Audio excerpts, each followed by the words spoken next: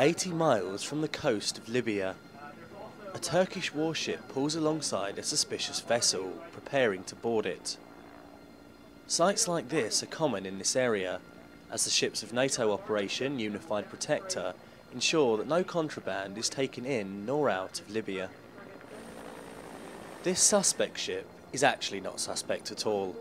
It's a Romanian warship and part of the NATO operation. Special Forces soldiers, who train regularly in exercises like this, fast rope down from the Turkish helicopter and secure the landing platform. A boat carrying the rest of the soldiers pulls up to the platform and a team climb aboard. The crew of the vessel have been instructed to stand at the bow of the ship so that the soldiers will have an easier and safer job of searching for any weapons. The soldiers reach the crew and search them. Mission is completed.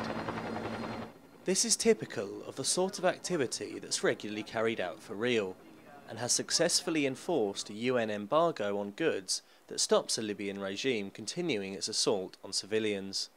While attention focuses on the airstrikes, this embargo is part of a package of measure being carried out by NATO in this region.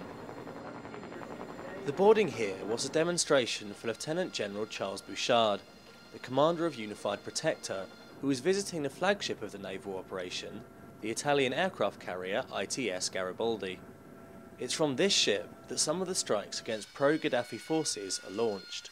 Our approach is to decrease the ability of command and control, remove the ability to sustain logistically these troops that are attacking civilians, directly engaging, when needed, those troops that are bringing fire on civilians and civilian population.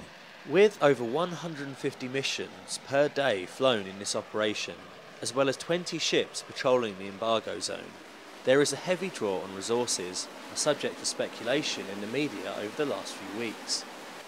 General Bouchard is happy, however, with what he has. I need ships outside to do the embargo. I need ships inside territorial waters. Uh, I need uh, helicopters flying across the board. So, from my perspective, we are getting Uh, what we, a, a good blend and a good balance of resources to do that. He was also keen to stress that the military aspect to Unified Protector was not the be all and end all of the campaign. This campaign is done in coordination and synchronization with political effort, diplomatic effort, economics. It's across a wide ranging. It's the comprehensive approach to bringing a solution in Libya. The ITS Garibaldi is just one part of a complex machine that has many components. General Bouchard is clear, however, that they are all working to one end. I do not have a uh, mandate for regime change. My mandate is clear. My mandate is to bring violence against population to an end. And we will do what we have to do to ensure that the population is safe. Until that moment, missions like this and like this will continue. This is Josh Fortune aboard the ITS Garibaldi for the NATO channel.